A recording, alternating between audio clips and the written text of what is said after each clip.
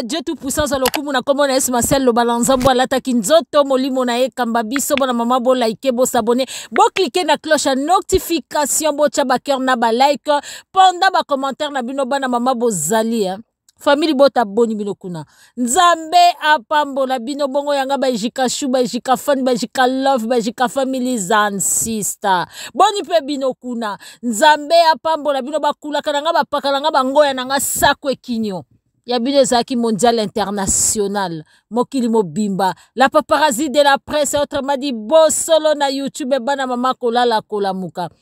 bana nyango kolala kolamuka bozala kaka scotche branche cimente na ijika bebe amour tv makambo ezali bamama so tolobi makambo ezali makambo ezali vraiment makambo ezali mpo tokolobela basequence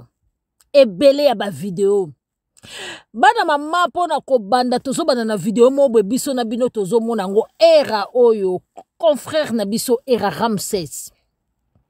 azopesa biso euh, je disais ndeko na biso era ramses azopesa biso analyse moko oyo totala yango ngai na bino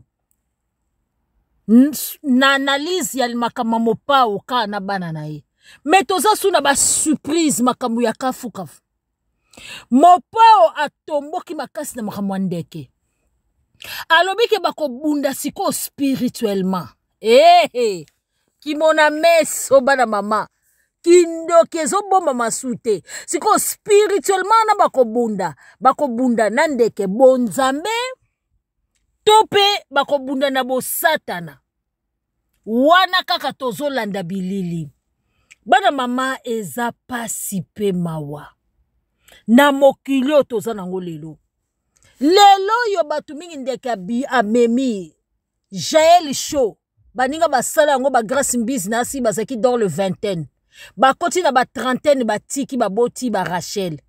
sikoyo mama oyo aboti deja bana jael show akoti na quarantaine 4 liboso jael alobi ke wi bana ne bayoka soni mpo ah, tolobaki alukaki poto sikoyo akomi poto me jael aotika sikoyo motakala libanda atie tala batatouage ye azolanda grace mbizi na age ya 40 ans tomonaki bongo asalaki concert quelque part oyo azotika nyonso libanda me oza na poto ti okoki okima ti okoki otikala ti ata bakangi yo passeport na nkombo ya jael lukoki okokobwaka a ah, babwakaka meme namona bato bolimbisanga ndeko na oyeba ya solo nkombo masuba ngembo masuba ya ngembo atie masuba ngembo misusu apesa bwaka ngunda nkombo lipa me bafamille lipa te mosusu nguba manga sende atikala mpe na kombo wana awa na poto age mpe akata na ye ta mosusu 10 ans atikala na 20 ans na poto makambo eza ebele c'est possible bato mosusu wana na poto bavandaka na age na bango te na kombo na bango te eloko nini ndeko na biso azotikalaka motakala na podium basalaka makambo wana ntango oza nao na ba 20 ans alobi e eh? na bajure ya jael ye alobi bana mama yango natie video moko eh? bokota nano bokota na balien wana na obwaka lien ya lelo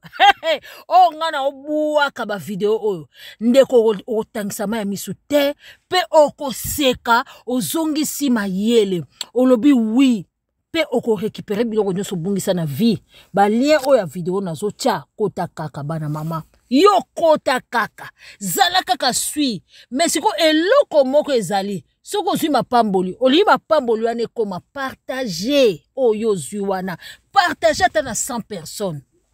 nde mapamboli ti yo kasi okotika oyoki okati ozwi batike na batake te bana mama kindoki mosusu eyaka na age ya kimokolo na 40 mpe ekelke yo sinie yoma oya mpe na bana mibale oyo moko na bango asalekisi 10 ans oyo yo lobi makambo ozosala lelo ekoratrape yo me ndeko so jael andimi akoma ne grace mbizi ya ere oyo ya ere oyo deja molili ekoti baninga basala yango ntongo babota barachene ye alingi akoma grace mbizi ya ere oyo donk ye motu bayebaka motakala na ye te ti akomi na 40 ans bayebaka kata mosusu mutakala camarade ne akomi kokata mutakala alakisi mutakala na ye ye moko bamama diambe eyebi kosala makambo wiske eyebi kosala makambo lopipi eyebi kosala makambo ki desespoir eyebi kosala makambo ndenge nini yo kookoma ntina baniveau wana kofi olomide hmm, tolanda procès na ye ya, ya badanseuse ebeta ye na motu divorce na ye na lia ebeta ye na motu vivre loin de ses enfants qui sont chers pour lui ebetaka ye na motu mpe aujourd'hui j'informe cindy cindy na kati ya vie ya kofi kofi il essaie d'évader la douleur qu'il a dans sa vie il n'est pas amoureux de cindy azobata moni mokolo kofi akose réparer aobenga na cindy Koffi Olomide est detruit. Procès na ye ya, ya ba danseuse ebeta ye na mutu.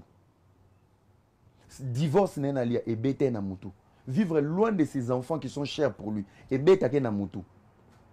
Pe aujourd'hui j'informe Cindy, Cindy na kati ya vie ya Koffi. Koffi il essaie d'évader la douleur qu'il a dans sa vie. Il n'est pas amoureux de Cindy. Azo bata. Moni mukolo Koffi ako se réparer au bengana Cindy. Ndeko na biso Erra Ramses asalaka baanalyse ne kitoko selo ye na mayele na ye amoni ke papa na biso mopao eh, ata tovoile face ata tokosa mm, mopao alingi alingi melodi motema te mpo makambo ya matala na buzoba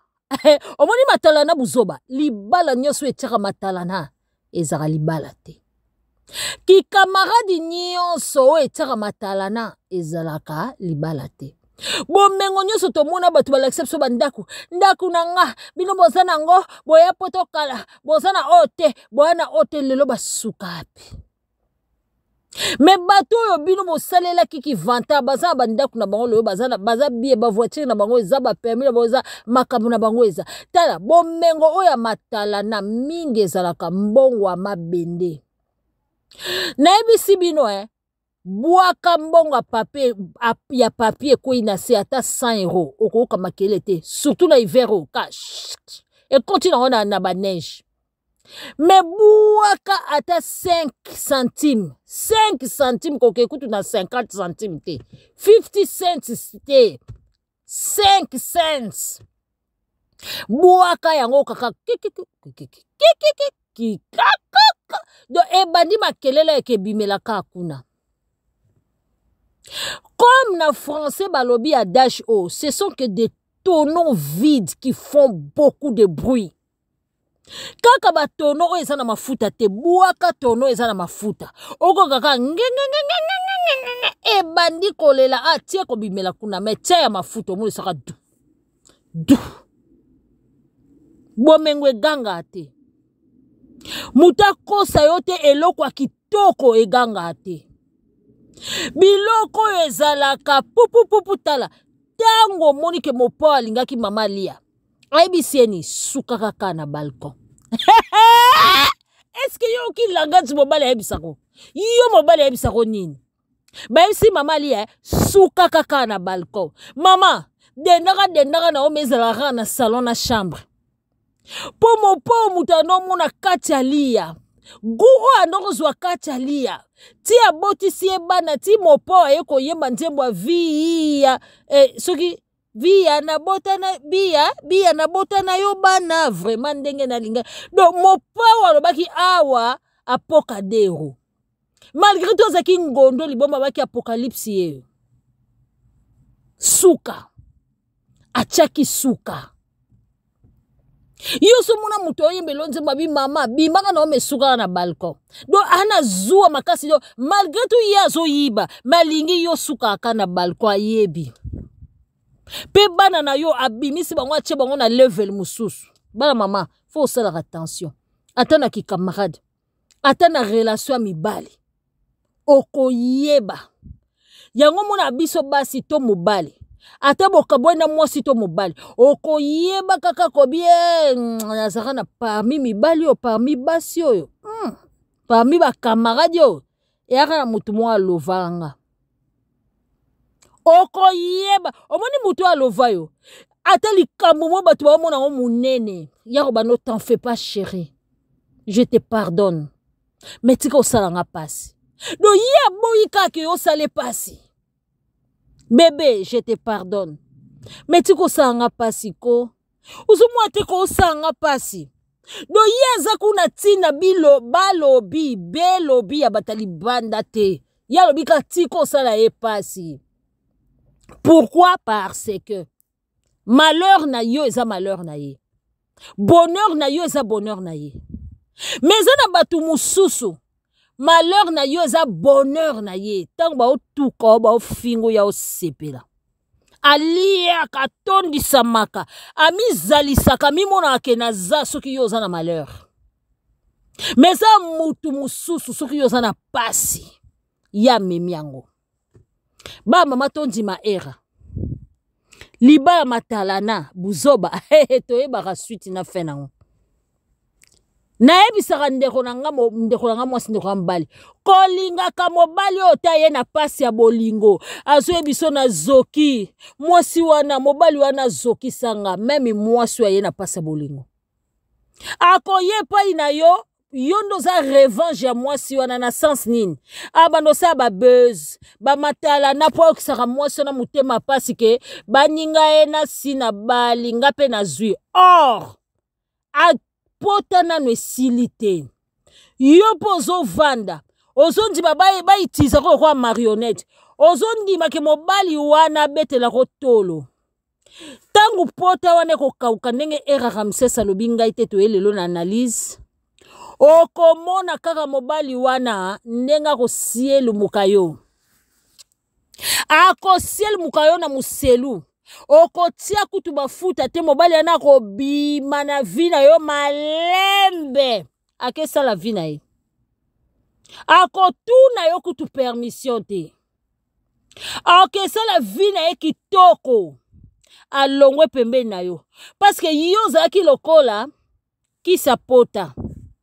yo ozalaki lokola kisi wana rouge batiaka na pota to alcool ezoswa ye me malgré tout alcool eza wana kaka te ezoswa ata azolingo te me ezoboma microbe yo ozaka wana oboma microbe basusi na ye me mokolo ya kobengano mokolo ya kozala gueri mokolo ya kobika nde akopona mpena mwasi oyo alingi to mobali oyo alingi yango basi mingi oyo bayaka mpo alongola mobali susi ya mwasi mosusu to alongola mwasi susi ya mobali mosusu baniokwamaka tuna bango banyokwamaka makasi mobali wana ata mosusu azomilela foti eza ya ye ayebike lelo so mwasi wana akenda mpo na traita ye mal nalingaki ye me ngamu nasala buzoba ebele do alelaka mwasi wana alelaka mobali sikoyo azolela ni ofete azolela ke na change ata nzambe esunganga nazwa delivrance so nazalaka boye nde navanda na mwasi oyo mwasi oyo aza na bapotentiel mwasi oyo mpenza azalaka mwasi na ngai mwasi ya vi na ngai yeyo me nabebisaka mpo natalaka essentiel te natalaka bafitilite mwasi mosusu mpe akolela ate ah, nabebisaki nalandai bisengo mokili to nzoto to ndenge na aspect na ngai namonaka mobali oyo teka mobali ya vi na nga meme bakamarade balelaka kamarade ya vi na ngai yeyo ata ah, lelo nazangi mbongo ya ndako abanda odefisa nga bato mingi balela basala mabe na bato oyo bazalaka bolamu mpo na bango bato oyo batiaka na nzela na bango mpo basala bango bolamu bango barepusa bango ba mama kota nao na balie oyo kota nao na balie oyo na obwaka omoni oyo naoloba eh, eya mokie lie oyo ozokota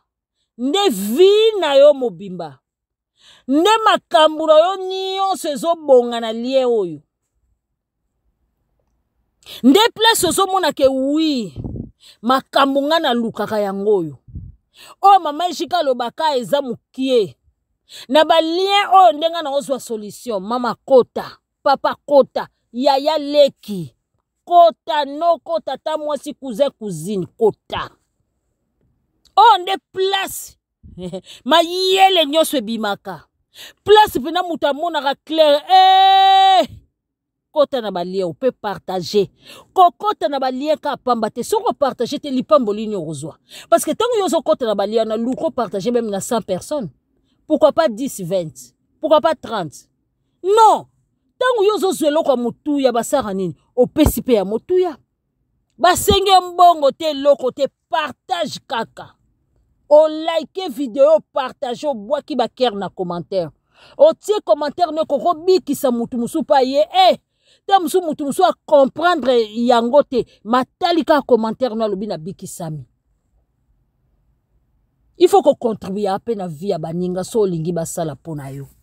tiela bino video mosusu ya mibale ya kafukafu lisusu ezoya après avoir kokota na balien ata okota mingi to okie kaka oklike kuna ozongi na yo na nsima okokota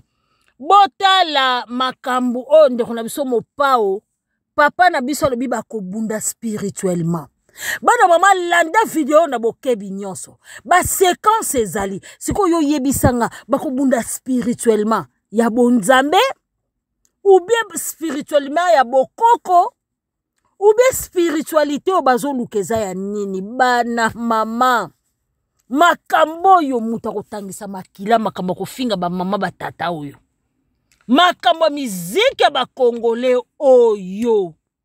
barankini oyo bakoma nango eza bamarankini ya deuxième monde yango to toyosa baanalyse toyosa baanalyse bakeni mpiana mpe koya eza su na kati ya minene bozalaka na bino milieu du village bolobaka na bino ndenge biso tolobaka boye makambo na bango ewutaka na butu e bana mama boloba na biso biso toza na biso libre kozala libre kitsoko soki nangi naloba makambo ya ngalula na lobi ya moseka na lobi ya bwatu na lobi ya manga na lobi naza libre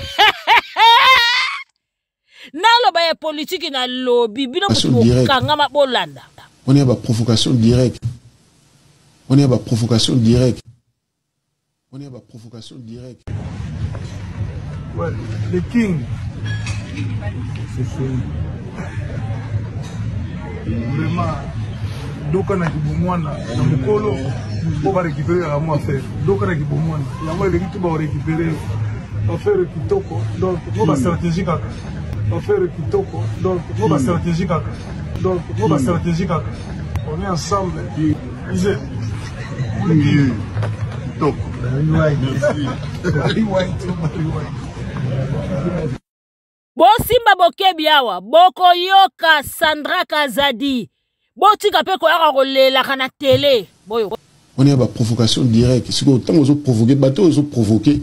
okokoka kobunda spirituellement te action direct wana ya baprovocation direct wana ya baprovocation direct On est à la provocation directe. Ouais, le king. C'est fini. Vraiment.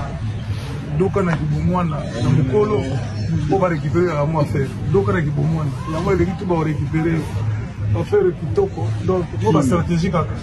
affaire kitoko donc mo bastratégie kaka donc mo bastratégie kaka on est ensemble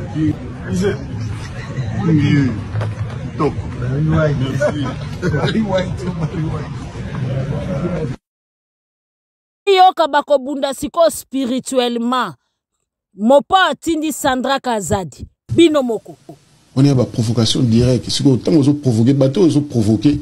okokoka kobunda spirituellement te okokoka kobunda spirituellement te mopao alobi aza kaka likolo ya ndeke ndeke okokobunda ne spirituellement question mark ndeke akokoka kobunda na ye na molili bitumba eza ya molili yaka su loba mama ejika moto alobaka n'importe quoi te yaka lisusu loba ngai nazoloba bapreuve à l'appui nga azosala bemission na nga te ke o nake o naoloba bilobela oyo sandra kazadi porte parole ya monene ya mopa oyo moto nyonso ayebi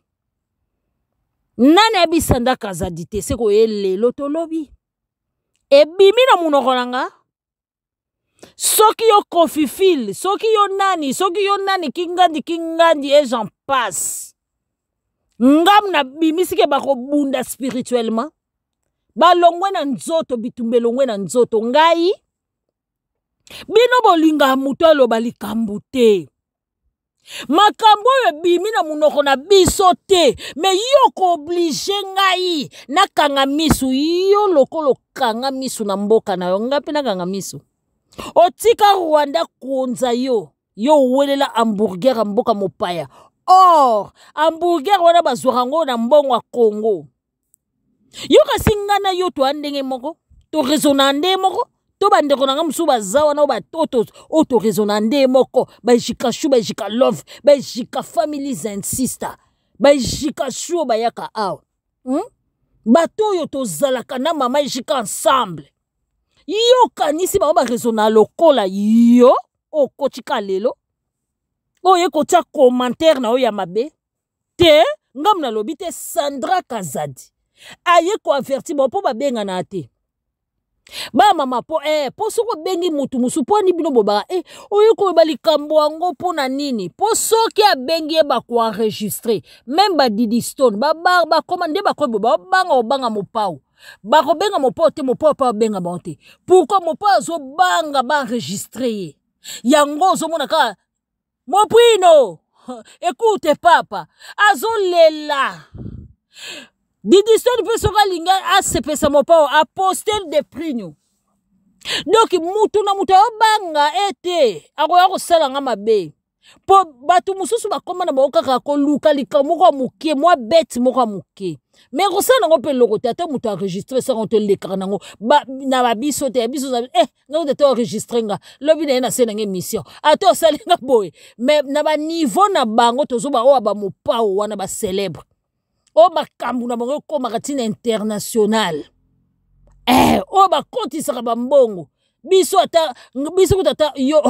baregistre kombe bamosusu kutu bamutakaliza etalaka biso lobi oyo osali emission keni ye wana baofinga tata ye na bamani aosalaka kaka emission na fimbu na fimbu tozoloba nde bastar eh, bango baboyaka makambo wana mpo na credibilité na bango asa vandisa kombo biso na biso kombo te ntango biso ozoleka boye motu mpe ayebi na yo te bango nde bavandisa sikoyo bakombo baliaka kombo na bango ekoma marke doki bakoma kobangabanga makambo mosusu akosala yango kaka en public mpo public na ye mpe eyeba ke likambo oyo nasali nasali yango en public yango omoni mopo atindi sandra kazadi nga te alobi ke sandra kazadi kende koyebisa bango bayebi spiritualité na nga bayebi ke zobo ozi akufa na mokolo moko ntango abimisaki verité oyo ngai abanda otindi asolola na basirene asololaka na papa wana soki apesa biso nkombo papa matie oyo ya morgue asololi mpe oyo te ndeke azalaka na kashe wana mpo okota na temple na ye alobi mpe melodi motema aza na kashe wana zobozi akufa mwasi ne na ngola akufa innocente mowei mpo na koloba ke bamakambo mosusu biso totraitaka awa ezalaka je te bango batraitaka makambo moko spirituellement oyo oh, yo na nga tokotya zolo te tokotya misu te eloko te sandra kazadi aye koloba ke baprovocation bino mo bomoni ndeke azalaki wana ize wana azalaki wana bubul azalaki wana bato oyo bazalaki epai mopao bakoma epai ya ndeke alobi ke bitumba na bango elongwe na niveau ya physique na niveau ya mabele oyo tomonaka na niveau ya kimona meso oyo tomonaka bitumba emati niveau bakomi na spiritualité embadi soki oyoki yango bien te natya yango na moke moko tokota na te mpo bato mosusu babata incomprehension ndeko na ngai limbisanga mpe bazalaka bato ya incomprehension te baa nde bato ya kindoki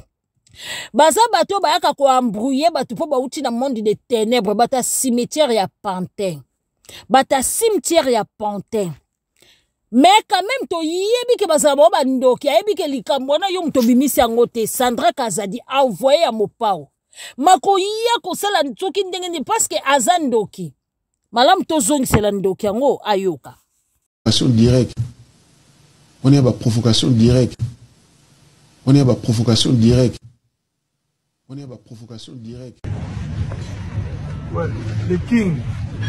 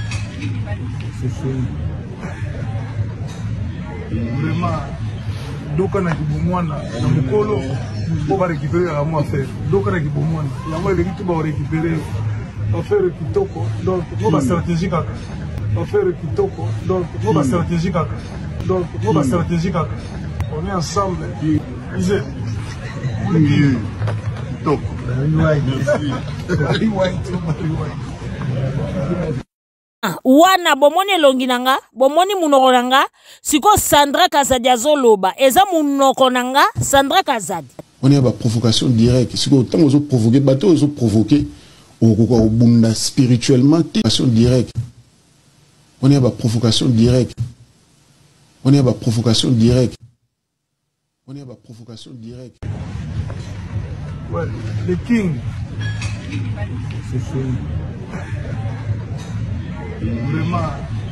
doka na kibomwana na mokolo mpo barécupere yaka mwa affaire doka na kibomwana yango eleki tu baorécupere affaire kitoko donc mo bastratégie kaka affaire kitoko donc mo bastratégie kaka donc mo bastratégie kaka on est ensemble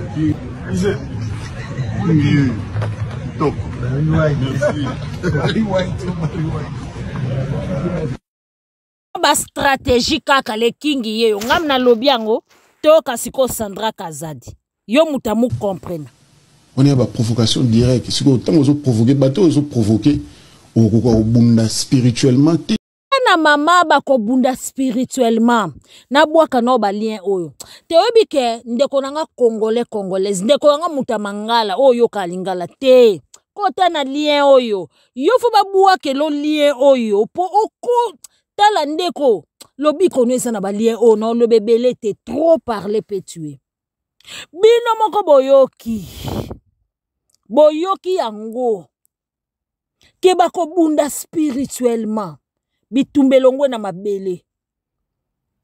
place force ya pesantere ezalaka force ya pesantere etiraka objet biso nyonso vers le bas yango omoni soki osimbi ngo touche nga soki osimbi kopale moko to linzanza ekwei na se osimbi yango obwaki eleli ngelengele me na espace elelaka te ezodandine ka mopepe na mopepe kuna force ya pesantere eza te balobi balongwe na force ya pesanteur bapimbwe to bakopumbwe te nde mpe bata priere balobaka bapimbwe bake likolo ya nga nini bitumba na monde astral na monde ya bato ya milimo mabe oyo bango bazobundela yanga nini yanga nini eza pouvoir ya molili biso tosala baanalyse eh? eza normal ya mosala na biso bakokoka koatteindre biso te mpo biso tokoanalyse tout ce qui bouge etali biso te mpo biso eza youtube apesi biso contrat tosigne yango abi na ndimi yo avant mpe tobanda boye ye moto ayebisaka biso na ndimi yo na ndimi chaine na yo sala mosala eh, biso tout ce qui boye nango loba so na kie na ndako na wana violation à domicile ou bien na viole vie privée na yo ntango yo moko ozwi kabamba ya vie privée na yo oyoki yango somo te ntango yo moko se respecte te ozwi vie privée na yo oye nango sur la toile oye nango sur la place publique oye nango sur les réseaux sociaux sur la toile sur internet nga na koanalyse nazo analyse makambo yo moko obimi nango ofungoli porte na yo bosololi kuna esimbi te ale ofungoli kamera oye koloba oye kosala emission kwatulu kwatulu yango fo bozalaka mayele ntango yo oye kosala emission baanalyste bazali te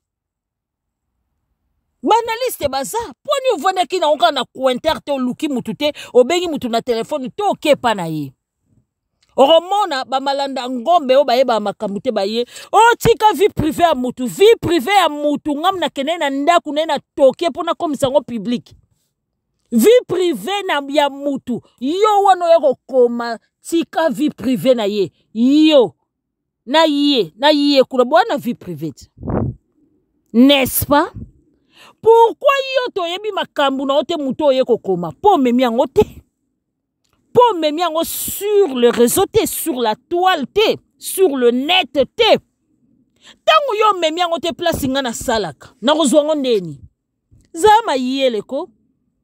yango ozomona meme nzambe alobi tozosenga tozosenga tozozwa te mpo na nini tozosenga mal moto alingi ayeba verité te or bazotya ye or vous connaîtrez la vérité et la vérité vous affranchira bokoyeba solo nde solo ekangolaka ye aza na besoin batyaka ye ka loboko na motu baningisaka ye atuntukaka kwikiki yes yes mpo ayeba verité ava tokóma na video mosusu verite lelo so na bino simba bokebi mpo verite mpe ya dadio ezoya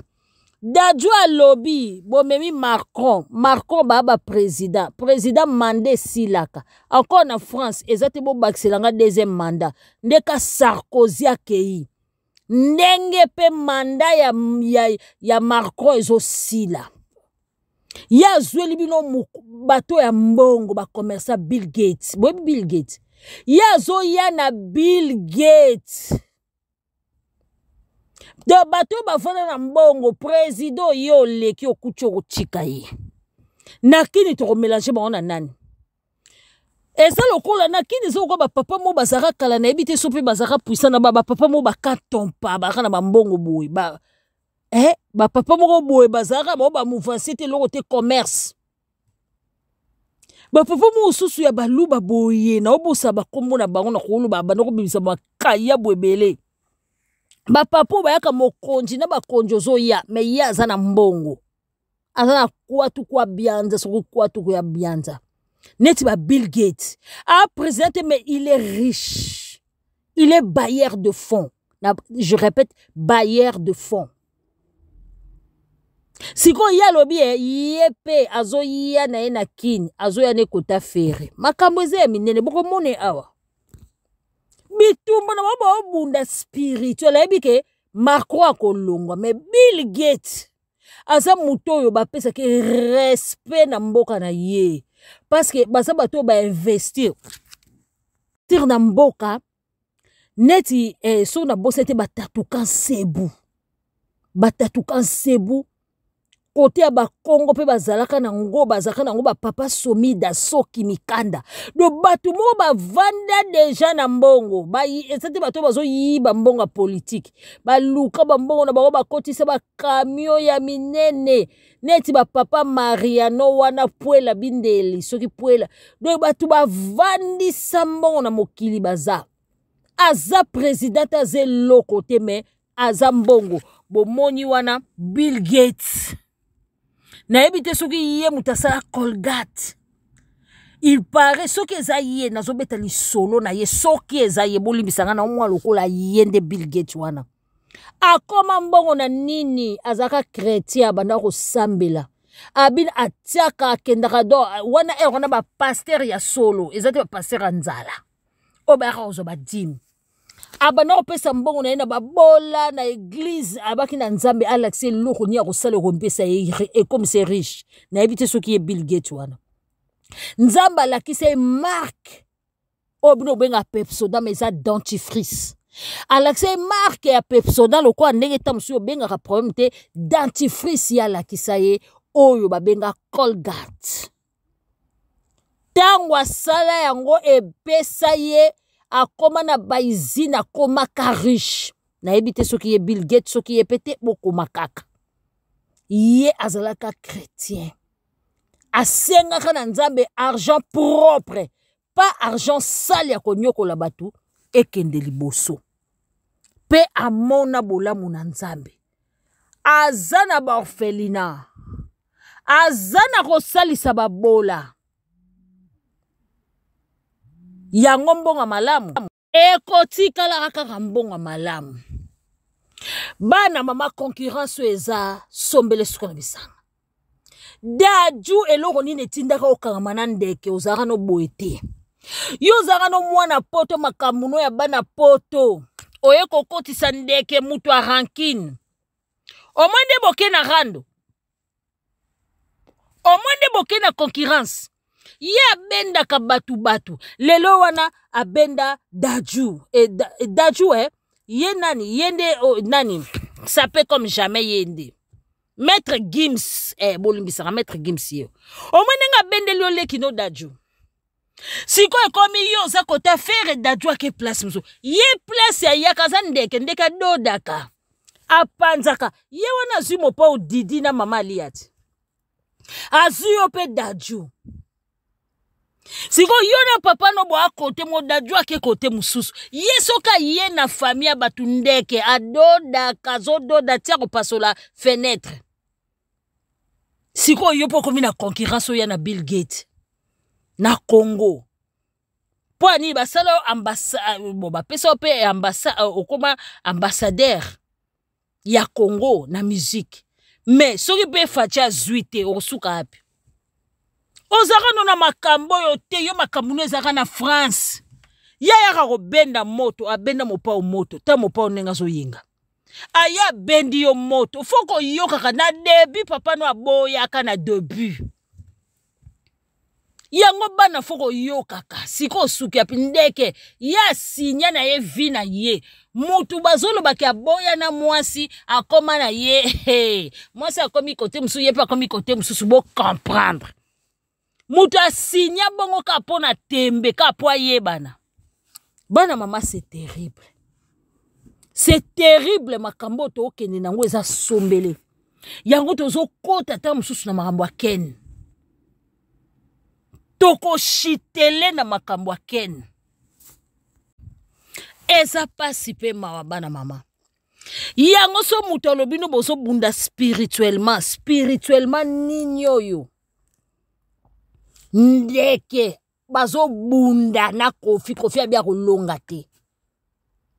seke spiritualité na ye emati likolo tala badaju bando bina na bango basape comme jamais makambo ebele ndeke akoti bango kati badaju bazalaki so ake na gucci baokumisa ye ake poto ndeke akomi kokende ti makambo wana ndeke atikaka bato te so omoni ndeke adiembeli yo seke oza na moto akofino nyonso esili me suka nde ekozala yango baya mama azala na spiritualité ya kitoko eloko eza na congolais abangaka bayebise makambo ya spiritualité or fovanda na kiti ya bokonzi ya spiritualité bamama nayebisa bino likambo moko ya naofungola bino kaka likambo moko eza na okutu na kati te me naofungola kaka mpo pepe na ngai efungama miso ata bokoboya me yo moto olamba simba bokebi kata na okolamba tala 2 miniti kaka nalingi natuna bino bakestion bopesa ngai bareponse motuna tokende kaka na brame te toke na brame landa likambo okokima na yo te kobongisa vi na yo na balien oyo na obwaka tunanga abraham abraham awutaki wapi oyo na mesopotamie abraham bawutaki na nani okobisanga na mwasi ne sara nzambe ayebisaki bango nini bobima na mesopotamie mpo kuna nzambe bikeko baparent na bino bokende kotambola ntina mboka oyo ngai na kotinda bino bokende bozoyoka stratégie oyo azwi sara sara banda obota te sara azalaki soki kuzini na ye soki demi sere na ye na mboka na bango babalanaka bademi sere na bademi frere soki video mosusu eye oyo tozotala wana tokotia yango na suka na mboka na bango babalanaka bademi frère na bademi sœur eske na afrike banda bokoko na biso te longola sentiment longola sentiment ndeko na nga depuis bokoko na biso osi omona tobalanaka cousin cousine non na bafamille mosusu ezali bokoyesanga kinchuri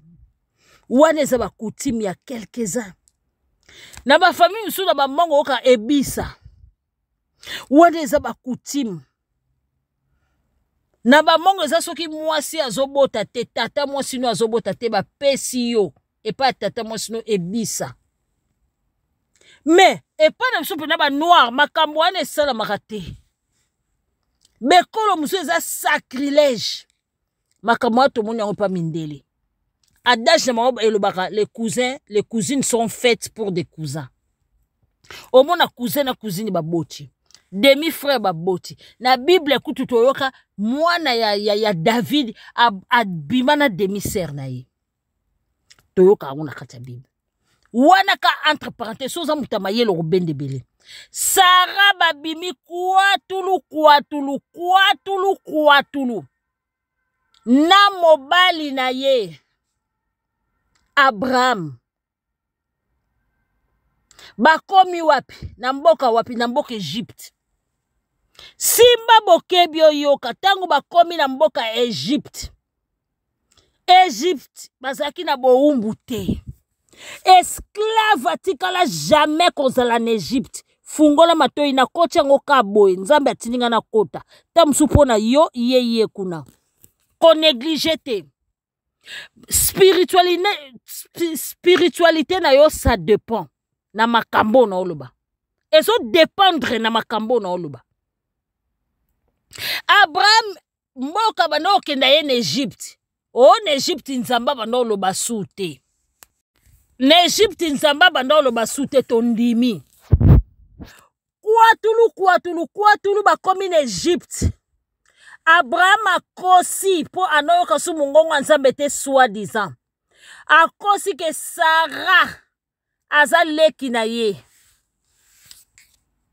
roi mpe amoni ya leki nio aza kitoko nabala ye abraham apesa sara babala ye mpo bashina oyokanga mabe okolinga no te nayebi yo oza na foi mokie obandi olenga te ihi ta makambo ya oloba nzoka nde mon peuple peri faute de connaissance yo ndenge oza wana oza na mwana opembeni tala mwana opembeni tala mobali na yo ndenge olingake tala mwasi na yo pembeni ndenge olingake motukutu soki asimbika ata mwasi no mokie okofashe soki oyoki ebongo zwa mwasi na olingaka opese mutu mosusu abima na ye mpo yo ozwa bangombe na mboka wana oza, oza serieux vous connaîtrez la vérité et la vérité vous affranchira tokokende na bino malembe malembe ekomaki abraham nayaki na likambo mosusu me na change nayebi te ekomaki abraham na mboka wana ya egypte mboka banoir afrike mboka bomengo mboka oyo ange abimelaki mama maria na joseph alobi bokima na mwana na egypte mboka ya pe mpo na nini israel otobaka nzambe na israel abraham anda oluka aboma messi vous connaîtrez la vérité et la vérité vous affranchira abraham aye kwatulu kwatulu na mboka ya egypte ateki mwasi owo farao likolo ya materiel bino bato ofukamela materiel te likolo alia bien amela azwa bomengo bino bobi abrahame moto abimaki na bomengo me abrahame ayaki kofukamela banoir na egypte mpo azwa nini azwa bomengo ya farao farao abima efali oyebisa nga nga kuna na basi ya kitoko kitoko kitoko eh, bible ekosala yango te bino nde bolinga kotanga te yo nde olinga kotanga te kee tanga yango mbangu kota kuna tanga yango mbangu farao abi pourkui abraham okosi ngai mwasi oyo aza mwasi na yo basupso eye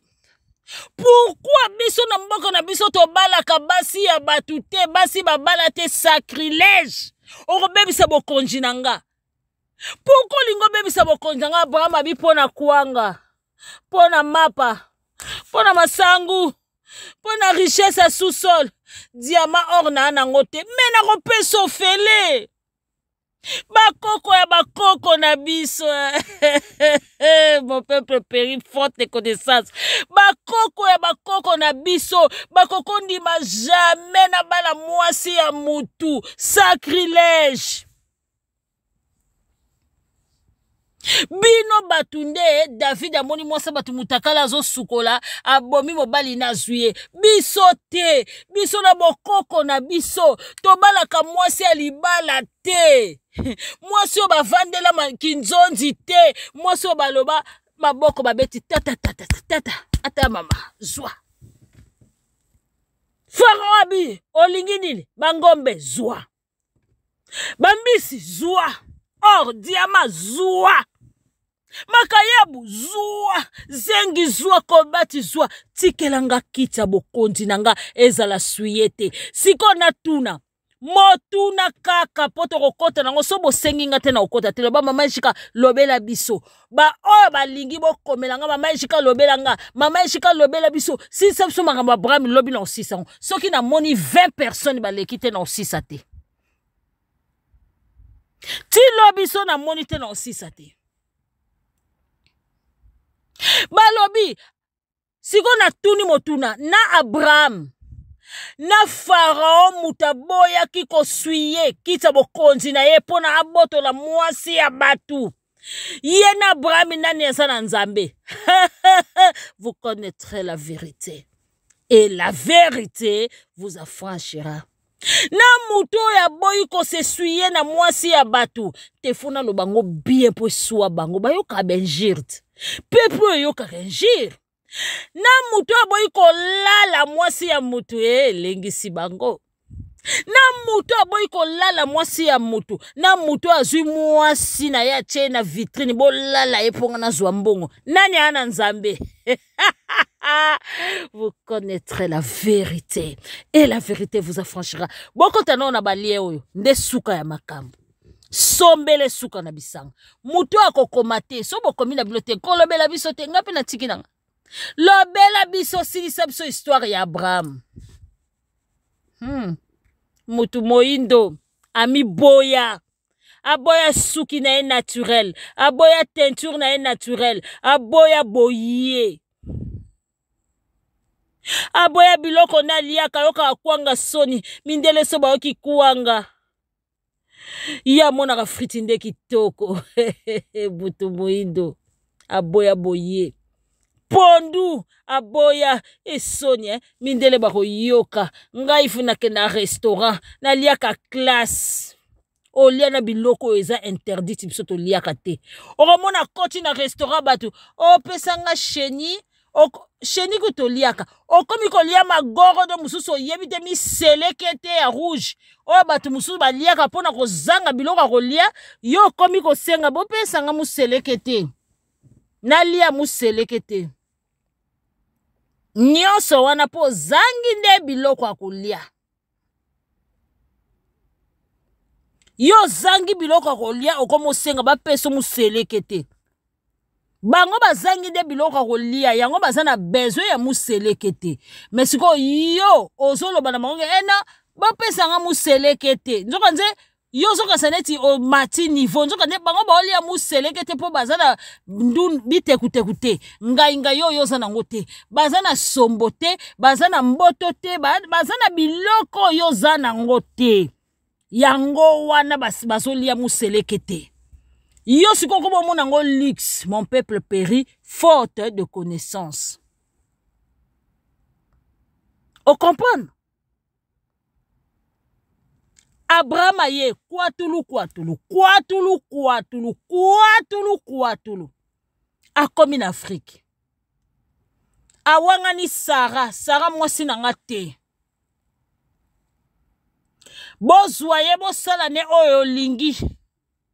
yo sikoyo mwasi oza na kati ya ndako no mobali apesa wabi bosala ne oyo nyonso bolingi osepela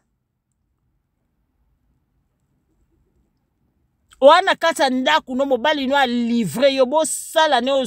bolingi soki bokobima ne bobima na ye okolinga c'est ça makambo esalamaki akoti mpe na afriki wana pharaon alobi fala oyebisa ngai na kopesa yo nyonso toya na bomengo oyo abimaki na bomengo depuis na famille na bango ye abimaki na bomengo depuis na mboka na bango azalaki na bozwi na lococo ndenge nini akendeki kosenga susu na egypte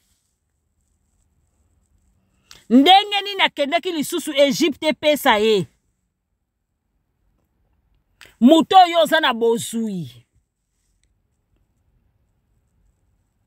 nyonso tu wana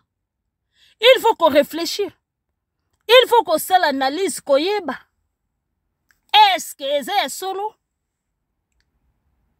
eske makambo oyo balobaka na biso eza ya solo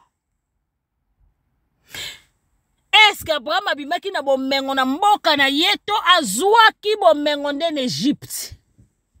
question mark yo moto obimaki na bomengo na mboka na yo ozoya mesopotami mpe eza mosika te okomi na egypte bomengo ya egypte banda ozwa yango toyoka lisusu te na bible ke okende kosenga kote mo okoma riche ya libela faut bocomprendre tokɔta nao na balie oyo bana mama nayebi ke bosepela na bino na verite te eh, bana mama nanga mosusu basepelaka na yango balingaka bazala na connaissance bamama na mokili oyo eloko eleki connaissance eza te il faut eh, na mokili oyo mpe eloko eleki koanalyze na likambo eza te meme bible nzambe alobaki baprofesi nyonso bozwaka botya yango boanalyze yango avant ondima ya malamu zwa ya mabe esala nini bwaka me eloko moko eza na peuple na nga congolais toyebaka koanalyze eloko te kaka ndenge yo ozwi likambo ozwa yango mpe kaka ndenge wana il faut analyse eloko ozwi osali le pour et le contre ntango toloba makambo ya abrahama tokosilisa yango so bato balingi so mpe bolingi te natiki ntango toloba abrahama autaki na mboka na ye mpo bando osambela banzambe bikeko balobi abuka banzamba bikeko mpo ya ya me biso sikoyo ntango ya oya na egypte egypte efandi nde na bikeko te centre ya bikeko place ya ya koluka bomengo biso bakoko na biso basalela nde bikeko te basalela bikeko te mpo na ezala babiloko ba moko ya mabe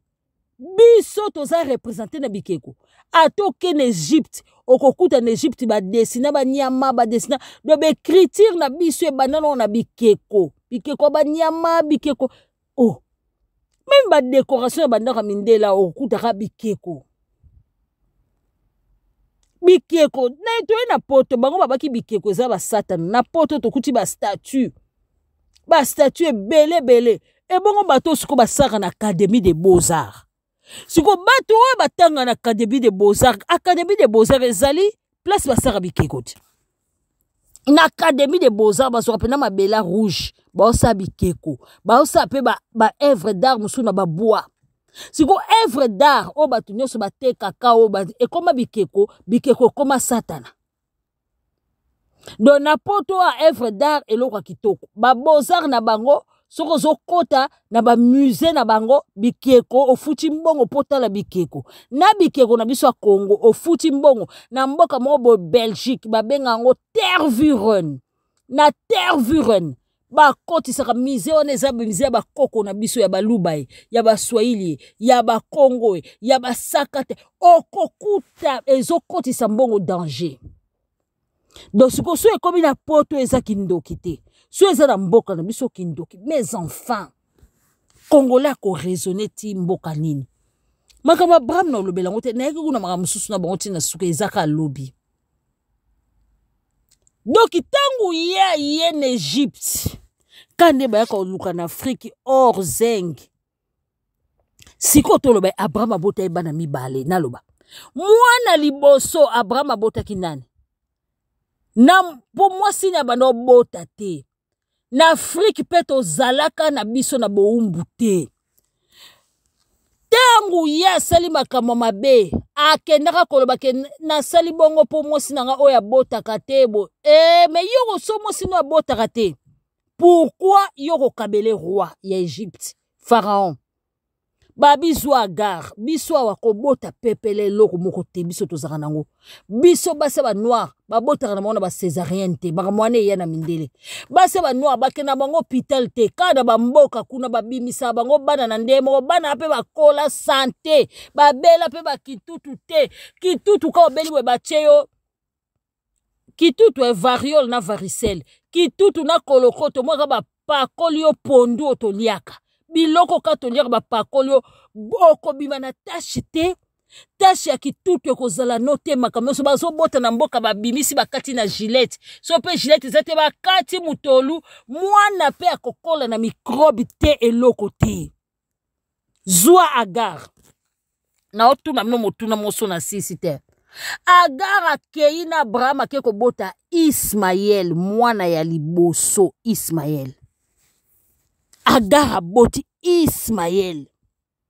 ismaele wana nde bitumbu oyo ezobunda kuna lokola yuti balingaka te oyo ezobunda kuna israele na palestine tosuki ka wana boyebaka nando baka musulma na bachrétien do israel bachrétien musulman sikoyo ye izaki aboti mwana na agar agar oyo bango bakomisi babengaka esclave kende sikoyo na islam tuna bango bakoyebi biso kaka profete na biso moto abota ye awuta na descendance ya ismaele profete na bango mohamed sikoyo batangaka izaki te batanga agar te mpo na nini mama oyo abota me na kati ya bible na bango batangaka bimaria hey, na ofungwela bino batangaka ma maria me agar lokola azalaka noir kende na israel so olingi mondibu aboma o te na obenga moko ya mondibu so olingi asala abeto bombe te tanga agar me agar moto abota ismaele o religion na bango palestine na israel baobunda soki oyeba yango te lelo eza bana ya abraham bana abraham oyo awuta na isaki mosusu awuti na ismaele pourkui babenganaka ismaele na mama ne noire racisme parce que azalaka loposo na bango te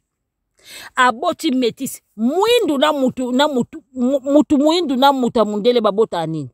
ozongisela nga metisi mutu mwindu na, na mondele babotaka metisi yango monaka bandibu baza bongo ntango babengani agare na mwana na ye agare akenda kokutana na nzambe na desert epuis babengani ye wapi place mai ezalaka te babengana ye na desert mais agare avivra mpo towana nzoto na biso towana bamelanine biso banoir toleki bango na makasi agar aresistad babengana ye na desert ndeka mindele basambwisaka bato to baarabe mpo bango bazalaka bairakien mindela kala ko bazalaka na bango kaka lokola baarabi bapembe ya bongo difeti ya malili nde ekomisi mindele mosusu oyo ya europe oyo bazali hitler ando aboma bango mpo na nini mpo bamosusu bayaki na yeux bleu bamosusu mwindu pourkui mindele so bazose bronze bakoma mwindu bamindele bautaka na barasi wana oyo omonaka barasi ya bandibu wana nde baabraham bautaka na moyen orient moyen orient yango bitumba na bango babunda ti lelo ti efunga bino misu te bitumba oyo ira e abraham bazowelela eza isaki na ismaele bazowelela héritage ya papa na bango abraham e epesi yo mpasi e epesi yo mpasi yo se omona bakombo na biso lukombo azalaka kuna mboyo osoka koma mboyo na bible bible eza nango ya biso bango nde bafalsifia natindi na oboya bible te na okota kutu kuna te yo si omona na iran iran na irak to omona na israel lukombo omona deja zola omona deja mboyo cibangu omona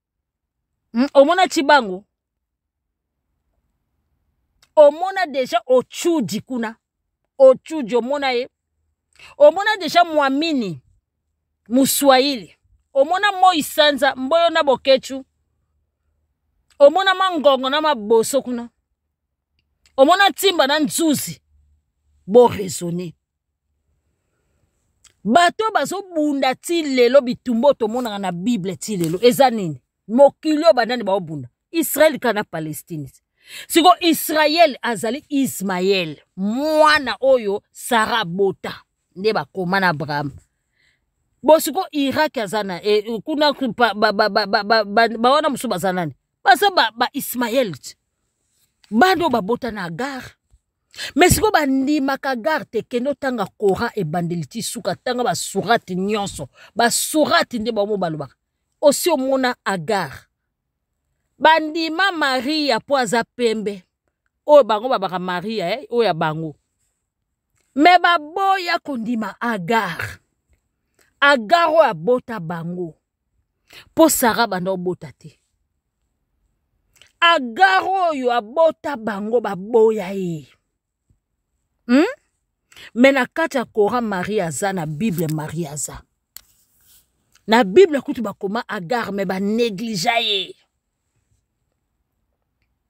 sikoyo yo sikoyo na mayele na yo bandela makambo onga nalobi yo moko mpe ozomona na misu noti na bainformation banani baobunda bana abraham na kati ya bana abraham isaki na ismael yo oza wapi na kati ya bana abraham israel na palestine yo oza wapi tangelanga nkombo no lukombo mambueni tangelanga nkombo no mboyo bokechu ntimba na nzuzi ochudi mwamini to chibola chimanga to musuamba kombo na yo to muluba muswahili mungala e, na mukongo muta bandundu boza wapi boza kuna vous connaîtrez la vérité et la vérité vous affranchira bokota nao na balien oyo soki mpe tosilisi ya nazotya susu balien oyo baoyo balingi nabandela likambo oyo na kobandela yango bandeko tosukaka kaka na bafitilite te toluka tofungola miso makambo oyo nalobi awa bandela yango en plusieurs fois okocomprendre ke bosolo na youtube bosolo ezali awa makambo oyo naolinga na fungolo nabangaka kofungola yango ifo nakende yango malembe malembe mpo bato mosusu bakobunga c'est normal oréagir ndenge ozo réagir wana okanisaka ye ye apengwi okanisaka ye akomi de côté mpo verité ntango eyaka motu nyonso azwaka yango te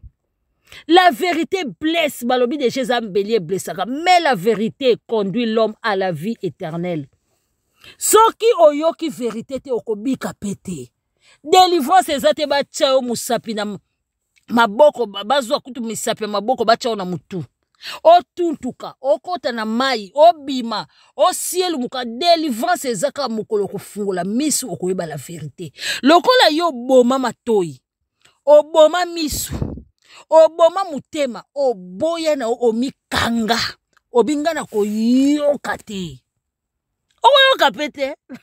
me baninga baomona verité bazokangolama baomona de hey, eh, makambo ekende bien bandanga nayeba baverité hey, hey, nakoma pepele boko nayeba ndenge akobondela ata nanu nyonso to ekokisama te me bato oyo bayebi verité toyebaka deja mm, nakende kotoyo nasenga boye mokili etambolama boye soki oyebi verite te yango eloko bakashela bino baboya boyeba verite me bible elobi nango nyonso bible ekosaka te bible eloba nango nyonso place abraham akoma bible eloba yango sagesse nyonso ewuta na egypte place ya banoire abraham alekaki na egypte yesu masiya babi bokima na ye na egypte bo bamboka mosusu ezalaki pembeni ya israele te me babi bokima na ye na egypte lelo oyo bitumba oyo omonaka ebundamaka ya makasi ezaka bapalestinien bana ya abraham mibale wana nde babundaka abotaka isak oyo oyo eyebana na ismaele ata batyaka bana mosusu me oyo toyebi eza is islam eza ismaele bakretien isak oboyo linga yo moni bachinois batangaka abraham mpo baa na buda te est ce que abraham abota buda bango bayebi buda na bango place awuta isaki na ismaele bawelelaka heritage nana ebela kofungola awa tokovanda 5 ans naofungolaka awa ismaele na isaac bawela héritage oyokaka temple oyo ezalaka kala babuka yango ekoma moske oyo yesu masi abaki na kodétruire temple oyo na 3 jours partage like nazotya lien oyo okoyeba baverité mosusu koma commentaire a bisou